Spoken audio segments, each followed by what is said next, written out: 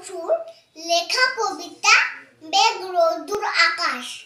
এই যে আমি খেলার মাঠে বাইরে বহুদিন, এই যে এখন স্কুল নেই, বাবারও নেই ফোন। কিন্তু আমার তালের ঘরে নিজের পৃথিবীটা তারির কথায় বাঁচি, শুনবি। তবে শোন, উঠোনে গেলে ডাকে আমায় মেঘরোদ্দুর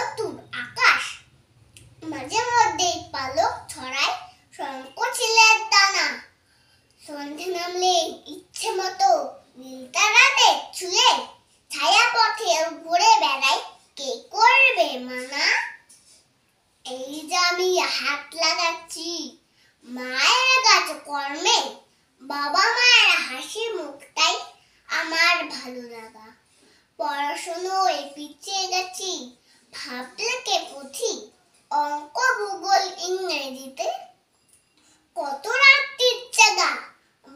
বাবা সারা দিন কাজের খোঁজে তবু নেই ক্লান্তি।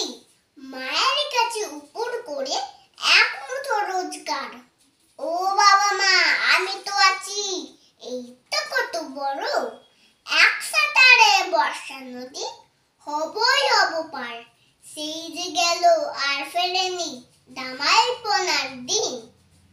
ইচ্ছে খুশিতে পান্তরে ঘুরে ধরতে ছোটা তবু জানি ভাঙা করে খড় ও তাই আমার স্বর্গ মহালয়ার নীল সকালে শিউলে হয়ে ফোটা। নমস্কার